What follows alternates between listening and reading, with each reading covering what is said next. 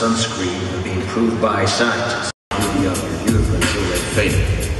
But trust me, 20 years you'll look back at photos of yourself, recall in a way you can't grasp now how much possibility lay before you. You don't do not read beauty magazines. They will only make you feel ugly. Live in New York